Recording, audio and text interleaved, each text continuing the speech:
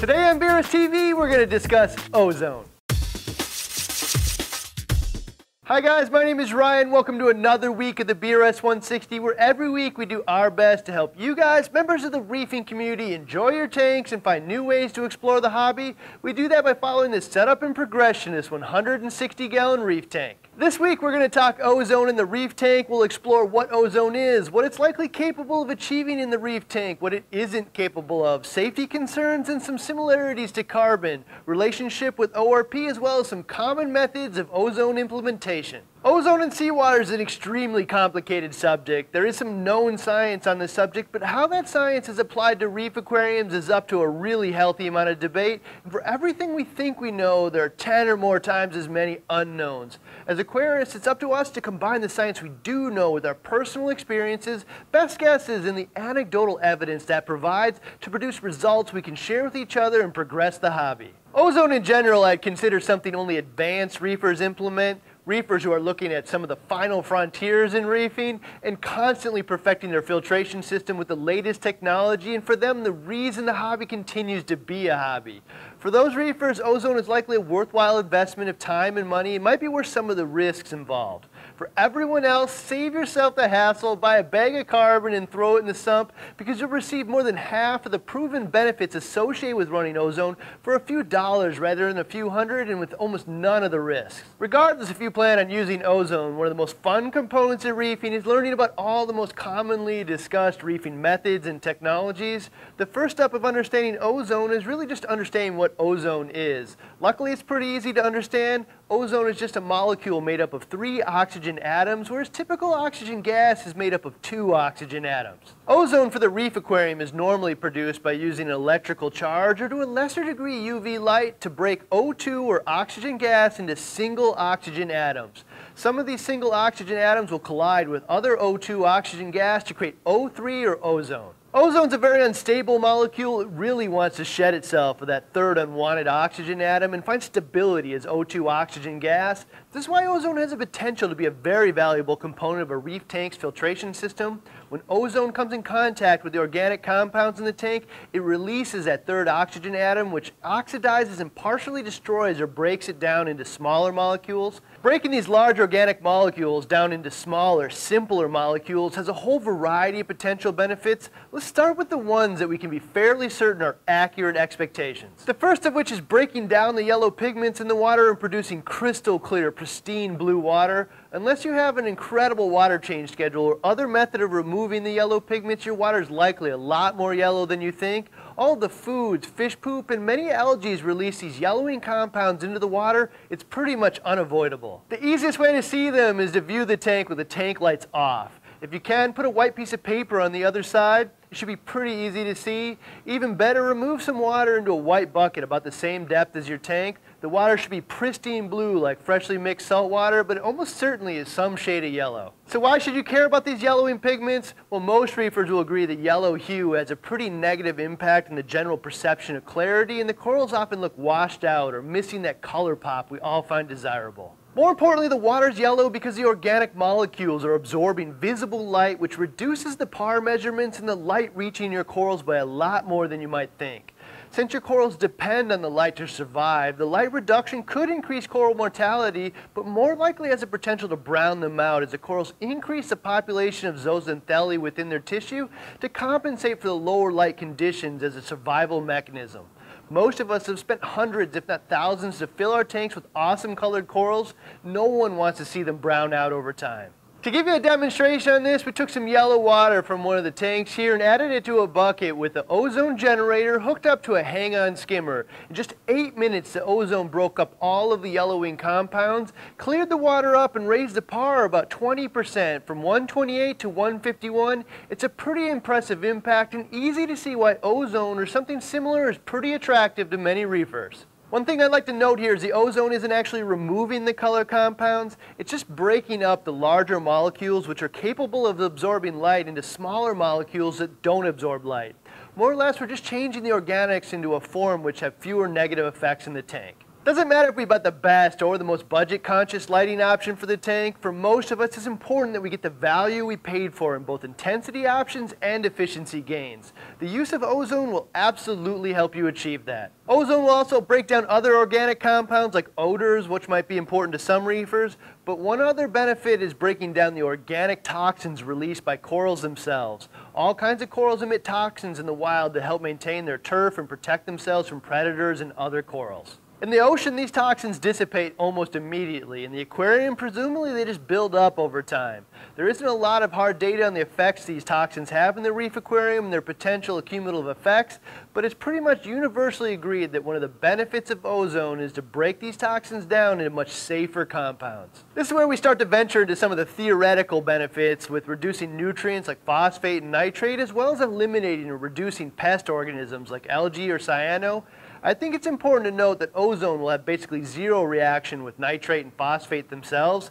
There's potential to reduce nutrients, but it's largely theoretical and primarily based on trying to explain or understand many reefers' personal experience than it is proven science. Generally speaking, it's believed that ozone has the potential to quickly break down organics into forms which other organisms like bacteria can consume easier and could explain why reefers see reduced nutrients and correspondingly less nuisance organisms like algae and cyano. Keep in mind that there are a vast amount of reactions happening in the tank which we're completely unaware of, so this could be the result of something very different, and nutrient, algae, and cyano reduction certainly isn't experienced by every reefer who uses ozone. There are also some very commonly thrown around benefits with ozone, which I think are very likely not true, at least not in most common implementations. The first, the correlation many reefers make between UV sterilizers and ozone is probably because ozone is an effective disinfectant in some municipal water supplies and some aquaculture implementations. It's likely some ozone manufacturer out there played a hand in spreading this misconception. It's also not helpful that most retailers group ozone and UV together as well. However, ozone and UV sterilization in the reef tank have about the same similarities as a heater and a dosing pump, which is none by no stretch of the imagination is ozone to be considered an effective sterilization method in the reef tank. The ozone and dwell time required for sterilization are in the neighborhood of hundreds of times more potent than is commonly used in the reef tank.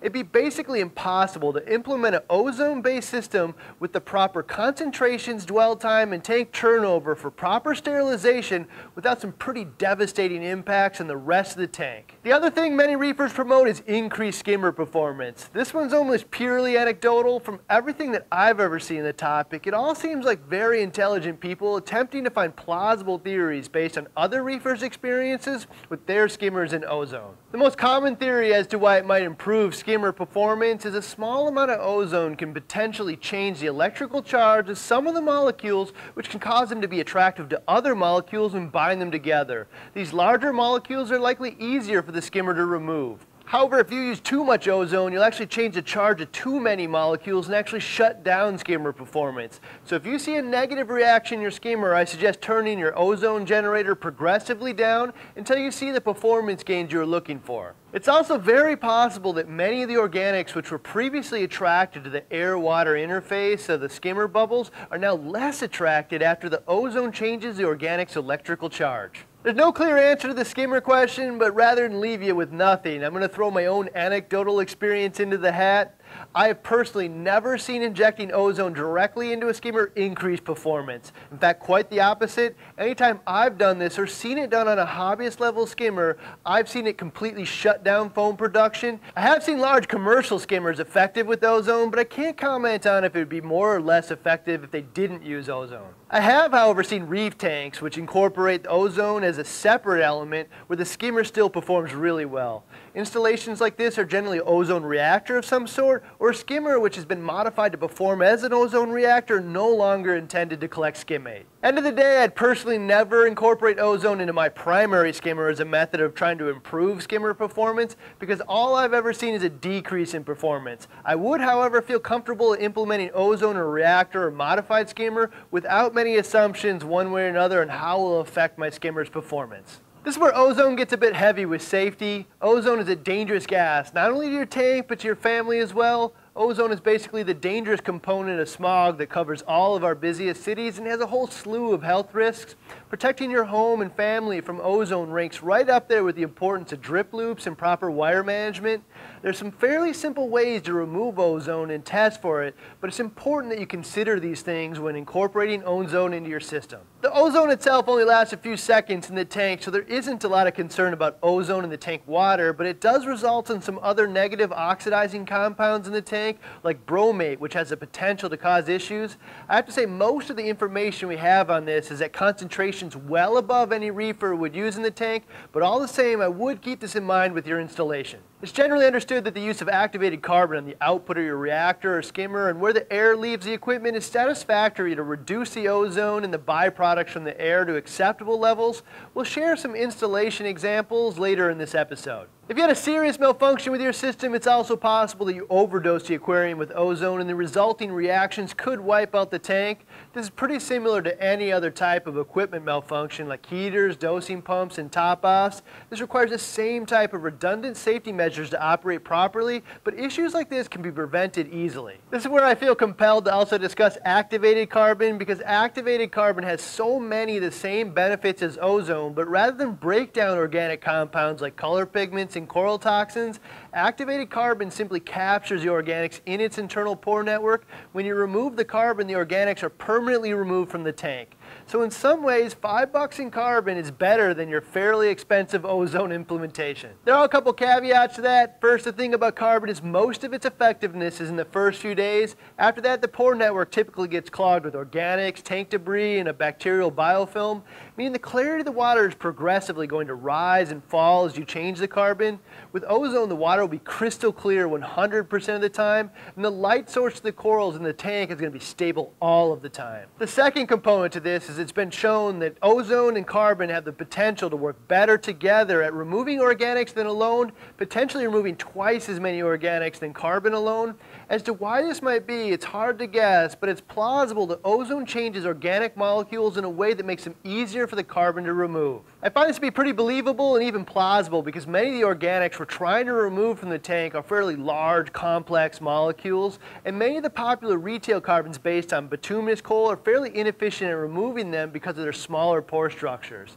It's very possible there are other unknown reactions beyond that that cause the organics to be more attracted to carbon and therefore more efficient at removing them. Before we get too much further, it's important to understand the correlation between ORP and ozone. ORP is short for oxidation reduction potential. There's a healthy amount of debate on what ORP represents in the tank, and rather than make this a three-hour science lesson, I'm going to boil it down to the basics. For the purposes of the aquarium, ORP is basically a measurement of the ratio between organics and oxidants in the tank. For this purpose, organics representing the elements which pollute the tank, and the oxidants representing the things capable of cleaning up these polluting organics. The higher the ORP or oxidation reduction potential, the more likely it is the oxidants or cleaners in the water are outnumbering the organics or pollutants in the water. Adding powerful oxidants like ozone will almost always keep the ORP pretty high. For this reason, reefers commonly believe that ORP is a number that represents the cleanliness of their tank and water quality, assumption being that ORP numbers near the top of the range suitable for aquariums are representing the water with the least organics or best water quality.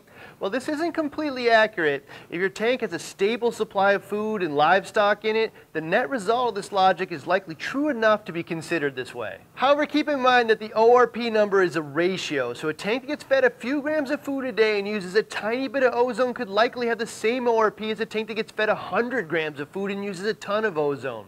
So while the ORP levels are the same for both tanks, the one getting fed a few grams of food a day will absolutely be cleaner with fewer organics or pollutants. For that reason, I would only consider ORP relevant to your own tank and not compare ORP with others for making a presumption about water quality between the two. I do, however, think in most cases the reefing community's assumptions on ORP are fair that raising the ORP in your own individual tank is likely resulting in cleaner water to some degree. All that said, where ORP really comes in is to control your ozone generator. If your ORP were to get too high, it would likely be pretty disastrous for the tank, so almost everyone who uses ozone uses an ORP controller to keep it in the desired safe range. Most reefers try to keep it between 300 and 380. As what you should shoot for, I generally shoot for the midpoint for any recommendation like this, but your best bet is really to identify what your goals for ozone are. If they're simply to keep the water crystal blue all the time, I would set it to the lowest possible number that achieves that goal, meaning start at 300 and work my way up until I realize that goal. Most reefers will also agree that the best way to set your ozone generator and ORP controller up for the safest implementation is to use the generator's variable control to tune down the amount of ozone until your tank finds the ORP you're looking for, and then use the ORP controller as a safety backup to turn off the ozone if the tank ever goes over 380 or whatever safety set point you have. We decided not to run ozone on the BRS 160, not because it doesn't represent advancement in filtration water quality for the reef tank, but because most of us agree the benefits don't outweigh the cost, time, effort, and risks. And we also run carbon on the BRS 160, which has many of the same benefits. I would like to give a brief overview of the five main components we'd use if we were going to run ozone on this system to give a better understanding of how it would work with the ozone generator, air dryer, reactor vessel, carbon solution, and ORP controller. There are a few types of ozone generators out there, but for the most part, you're going to get a hobbyist grade version, often with an ORP controller built in or something designed for commercial uses. Ozone generators like the Enaly are absolutely the lowest cost method of implementing ozone typical to the lowest cost option of anything. Longevity and the quality of the unit will vary, but I think it's likely one of the more popular options because of the price point alone. The few times I've run Ozone personally, I've always run the Ozotech units for a couple of reasons.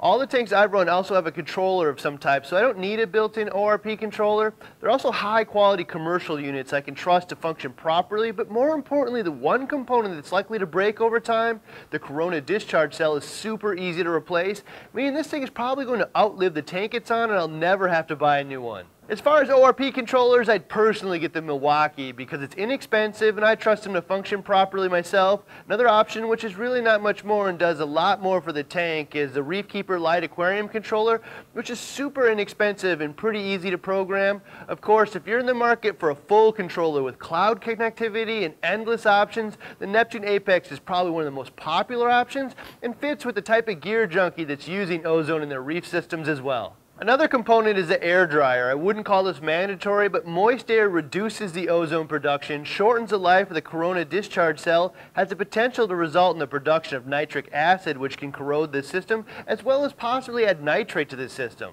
Considering all this, it's probably wise to dry the air. There are two types, starting with manual types where there's just some desiccant the air flows through to dry the air. It will change color as it's depleted, and every now and then you need to bake the desiccant to remove the moisture. Other types are automatic dryers. If you hate maintenance like baking desiccant, then this is it. These are self-contained units which use a media to remove the moisture and automatically heat and dry the media to recharge it. Almost no maintenance. These come in single cartridge versions which periodically heat and recharge the media. The dual ones have a feature of switching between the two cartridge. When it's recharging one, it switches to the other. Before we get to the ozone reactor or vessel, I'd like to note that ozone is really hard in a lot of plastics, meaning it will completely destroy many types of fittings inside of days. You absolutely need to use a material known for ozone compatibility. We stock Kynar fittings and Flexelene tubing, both of which have excellent ozone resistance. One of the most popular Kynar fittings are the check valves, which are often installed before and after the ozone generator to keep the water out of the ozone generator during a malfunction or power outage and potential siphon issue. As to the vessel you run your ozone in, you basically have two options. A reactor design for the ozone, which are often pressurized to some degree, or a skimmer. Everyone has their own opinions as to what's best. I find both are completely capable of raising the ORP and cleaning the water, so for the most part I'm not concerned from that vantage point. But my personal experience has been a good skimmer creates more ozone water interface with all the bubbles and works better than reactors I've tried, but I haven't tried them all. I have a few main concerns when selecting an ozone option, and that's making sure it has a method of removing ozone from the air, meaning a spot for carbon, a method of removing ozone-related byproducts from the water, meaning a spot for carbon on the water output. To a lesser degree, I want a method of controlling the flow of water through the reaction chamber so I can control the contact time if I want to. Most importantly though, I want this whole thing to be as simple as possible. None of the reactors that I've personally use have ever achieved all of these goals to my satisfaction, and due to the rarity of usage, there are just not many of them on the market. I've never used it, but it's possible this one from Reef Octopus might achieve all of these goals. End of the day, I prefer to use a recirculating skimmer that I have no intention of using to skim anything. The Skimz SM122 is a good option. This skimmer is a super easy way to implement ozone and doesn't require an air feed pump because you can use the Venturi on the skimmer to draw air through the ozone generator. I recommend recirculating skimmers because their design has a water feed pump which allows you to control contact time and flow through independently the needle wheel pump or ozone injection. Increasing dwell time or adjusting flow through will likely allow you to use significantly less ozone and achieve the same results.